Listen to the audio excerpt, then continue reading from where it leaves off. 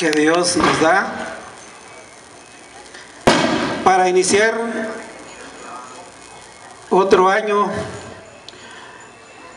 el iniciar un conteo de 365 días más.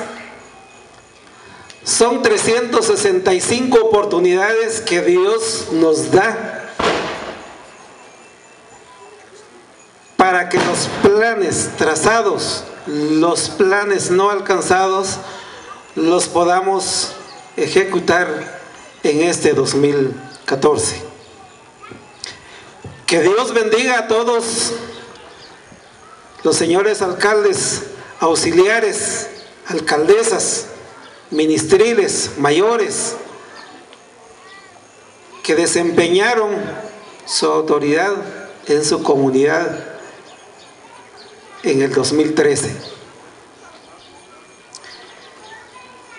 Para muchas personas pareciera insignificante un cargo tan pequeño. Y si nosotros retomamos un poquito de dónde se extractan las leyes, es de la autoridad de Dios. Dios pone y quita reyes. Lo mismo ha pasado aquí en nuestro municipio, lo mismo ha pasado en su aldea, lo mismo ha pasado en los caseríos. No fue por voluntad de una persona, de dos personas, fue por voluntad de Dios, con el apoyo de sus vecinos. Si hemos hecho una buena elección, hoy tenemos ya al nuevo grupo de alcaldes auxiliares y alcaldesas para este año, seguramente vienen a, este lugar un poco dudosos, un poco con miedo, con cierta incertidumbre. ¿Y qué vamos a hacer nosotros en frente de nuestra comunidad? Hay personas que en lugar de animar, lo desaniman. Pero creo que lo que han escuchado es algo muy importante. Ustedes son alcaldes auxiliares del señor alcalde municipal. Van a recibir apoyo pues de él, del consejo, para que ustedes desarrollen sus actividades en sus comunidades. Cuando decimos un alcalde auxiliar, saber quién lo nombró, tiene su base fundamental, su base legal, son instituidos por el Código Municipal.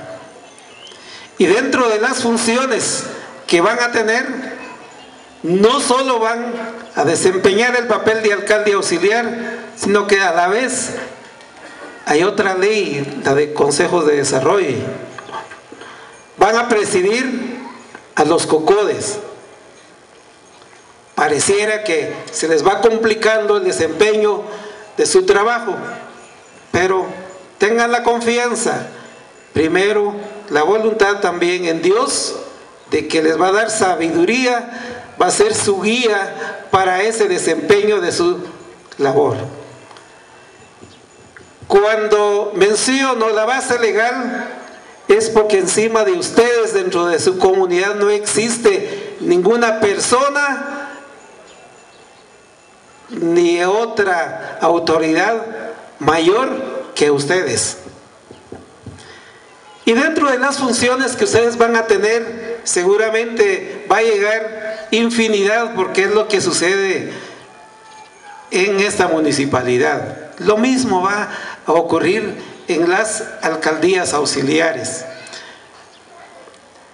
Que fuera solo hablar sobre proyectos, qué bueno, qué fácil, pues iniciar, planificar, ejecutar y se acabó. Seguramente van a tener que lidiar con personas negativas porque lastimosamente no todos congeniamos. y tendrán que convencer a esas personas para que los apoyen en su la ejecución de sus proyectos. A veces tendrán que ser jueces en su comunidad. De repente en alguna familia un problema y los llaman. A veces un accidente quisieran que el alcalde auxiliar fuera el médico y le dé solución pues al, a ese quebranto de salud. Infinidad de problemas van a tener. Pero para eso se tiene programado algunas reuniones para ustedes y que les sirva para el desempeño de su labor. Con esto pues estamos animándolos para que hoy, 1 de enero, toman este cargo para que dentro de un año ustedes llegarán a su comunidad y dicen, misión cumplida, su trabajo, tal vez a diferencia de hace unos 15, 20 años, pareciera que el cargo de alcalde auxiliar se elige por venganza. Dicen, porque esta persona es negativa, no colabora, pongámoslo de alcalde auxiliar. ¿Y qué va a ir a hacer esta persona? Pues no hace nada.